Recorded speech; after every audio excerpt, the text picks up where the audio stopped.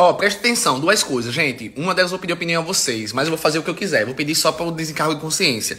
Tem um cara aqui que ele corta. O meu, o meu cabelo, meu cabeleireiro viajou, entendeu? Foi para São Paulo, ver a mulher dele, a namorada dele, que é o Pedro. E aí, é, tem um cara aqui em Penedo que ele disse que o sonho dele é cortar meu cabelo, que ele corta o cabelo aqui do, da galera da quebrada tudinho, na barbearia dele. Só que aí ele corta aqueles estilos é, meio de maloca, não sei, sabe, na régua. Entendeu? Aí, cara, vamos tentar. Eu digo, eu não sei se deixa meu bigodinho fininho, que esse bigodão já tá me dando agonia. Aí eu tô pensando em ir lá cortar o cabelo, mas eu tô com medo de ficar. Não ficar legal. Sabe, sabe esse cara que corta o cabelo na régua, não sei o quê? Aí, tipo, eu tô tentando. É porque tá muito grande o cabelo, eu tô querendo fazer essa experiência. Segunda coisa. É, três coisas, na verdade. Calma, fica aí. A, a, segunda é que eu vou, daqui, eu vou fazer o caminhão do Carlinhos, presta atenção. Caminhão do Carlinhos. Lembra da Branca de, Neve, da Branca de Neve? Pronto, a Branca de Neve que foi pra essa moça aqui. Mãe, quero te agradecer do fundo do meu coração. Você não tem ideia do que isso aqui vai fazer na minha vida, a diferença que vai fazer. 100%. Eu quero te agradecer do fundo do coração. Tô com uma mistura de sentimento, tô nervosa, mas tô muito, muito, muito feliz. Quero que Deus abençoe você, o Lucas, Deus abençoe grandemente, do fundo do meu coração. Muito obrigada mesmo. Você não tem ideia do que você acabou de fazer. Muito obrigada mesmo. Obrigada. E aí eu amei. Fa... E aí, o mosquitinho entrou aqui. Tá chovendo. E aí eu amei fazer isso da Branca de Neve, certo? Aí algumas pessoas, não vocês todos, mas vocês estão pedindo pra fazer de novo. Mas não vou fazer da Branca de Neve. Eu tava pensando aqui, eu vou fazer o caminhão do Carlinhos. O caminhão, tudo regularizado, tudo pago, impostos pagos, como foi da Branquinha de Neve. Tudo certinho. Eu vou fazer o caminhão do Carlinhos mais tarde à noite. Eu acho que hoje, eu mandei botar um caminhão bem grandão. Aí eu vou fechar uma loja aqui e vou escolher um monte de coisa para casa. Tipo assim, uma cozinha inteira, várias coisas. Vocês vão escolher junto comigo, certo? E aí, aí eu sorteio aqui pra vocês, bem massa, certo? Bom, eu amei fazer, eu ganho meu dinheirinho, não sei o que, alguém fica muito feliz com essa pessoa e tudo mais. E aí, sorte, e aí com Deus vocês.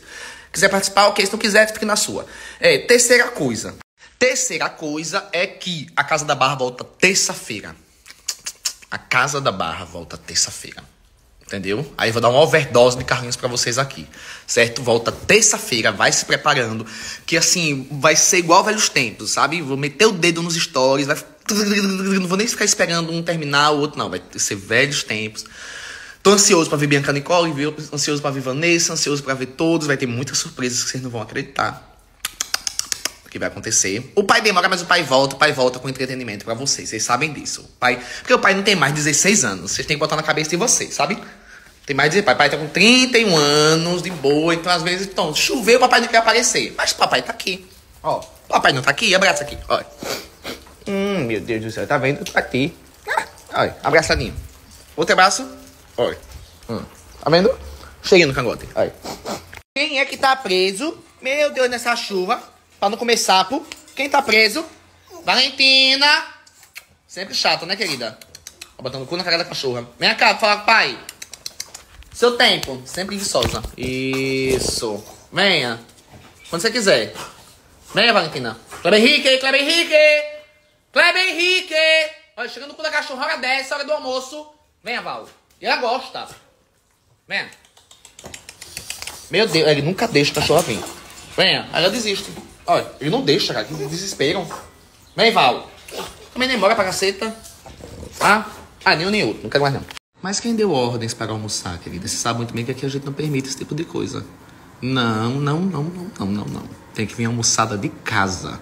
Olha a mosca voando, irmão. Viu?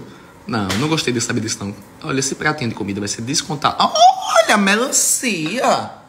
De jeito, maneira, sobremesa. Não, aqui em casa não, querida. Ah, eu odiei saber que você come aqui. Odiei. Vou, Vou descontar. Você tem que sair daqui e comer na sua... Você tem que pegar o ônibus e comer na sua casa e depois voltar pra... e depois voltar pra trabalhar. Hoje foi a última vez, viu? E eu vou contar os tortos elétricos. Esse... Um, dois, Eu vou contar os tortos elétricos. Se, desap... Se você comer, você me paga. Você sabe que você sabe que tem patrão. Eu quero uma salada de fruta, é? Engraçado que tem patrão que é assim mesmo, né? Tem, tem. Você já passou por isso? Não, se eu disser, eu tô mentindo. Sim. Mas eu já passei assim, de, de querer ver, por exemplo, uma receita.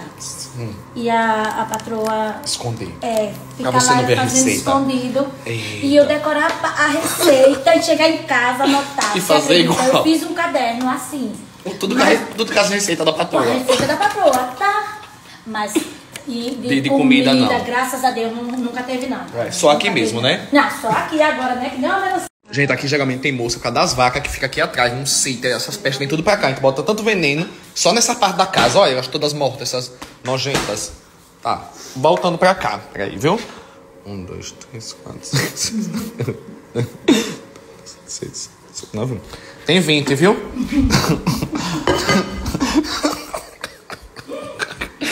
Chupa essa melancia. Se desaparecer um tortilete, você me paga. Olha, Adelaide, eh, não, vai ficar com os prêmios. Sabe por quê? Porque eu vou escolher pessoalmente. Não, não, não, não, não. Porque dinheiro é uma coisa que todo mundo faz. Não, vai ficar com os prêmios, deixa de coisa. Porque a Branca de Neve eu acho que ela vai, ela vai vender. Senti uma vibe de que ela vai vender a Branquinha de Neve, ó.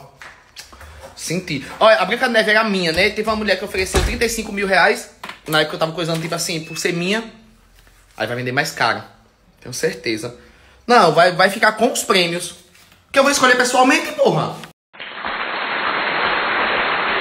Depois eu vou aproveitar e dar uma passadinha, sabe na onde? Na Madalena, minha filha, ela tá causando na vila. Causando, porque tipo assim, ela odeia bagunça, né? Aí diz que o pessoal fazendo lá a, o São João, né? O povo que tem nada a ver. Aí diz que ela chega com a vassourinha dela, por isso que minha mãe dava vassourada nela. É, não pode, mas a minha mãe dava. E aí, por, aí ela chega no, quietinha com o povo, diz fica só assim, isso esse terreno é meu, viu? É o último São João, não sei o quê. Só que aí, querida, o terreno tá no meu nome, que ela acabou me vendendo. E não é mais dela. Então eu vou passar lá na Madalena e dizer, querido, o terreno não é mais seu. E nem eu vou mais lhe devolver. Então vai ser uma tretinha. Vai ser uma tretinha. Eles causam, Madalena, os filhos causam. Entendeu? O outro, que é, que é, é uma parte do terreno, que é do, do- da filha dela, cobrou dinheiro pra gente. Não, só faz o, o- o São João aqui se cobrar. Aí pede dinheiro ainda pede 10 entradas no ingresso. Tá por fora, meu filho. Entendeu? Eu vou passar lá e vou causar com eles, vou fechar. Aí a minha sorte vai fazer a sobrancelha, né? Meu Deus, como eu tô acabado, desestimulado. Como eu perdi pra mim mesmo. Senhor, olha. Meu Deus, que homem feio. Olha, que olho cansado. Olha, que pessoa estranha. Ó. Meu Deus, que é isso, Carlos? Você é assim. Olha que assombramento. Parece que eu acabei de sair de um trem fantasma. Que é isso? Que é isso?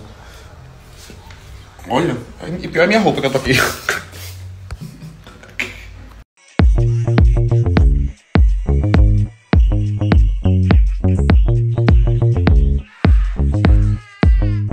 pode falar o que for, mas não é todo mundo que tem um hominho desse em casa, não. Ó.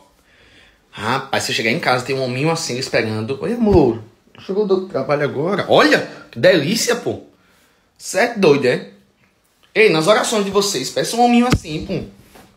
Peça só dinheiro, não. Peça um hominho assim. Tipo, bom, você tá, você tá chegando em casa. Não, vamos fingir que você tá chegando em casa do trabalho. Você trabalhou o dia todo. Aí eu tô acabando de sair do banho. Oi, amor. Que foi? Caramba, tá triste? Quer pedir demissão? Senta aqui, vem cá. Caramba, eu acabei de sair do banho. Ó, tá homem gostoso, caralho. Vou lá cortar o cabelo, viu? Me desejem sorte. Chamei a saia patão, pra, a saia patão pra ir comigo. Entendeu? Esse menino, ele- ele- há muitos anos ele me marca e eu sempre dizia, vou dar uma chance, eu cortar o cabelo, vou dar uma chance. Tinha medo, mas acho que chegou a hora. O cabelo tá grande. Vamos ver. Mas ficar feio também vai se lascar.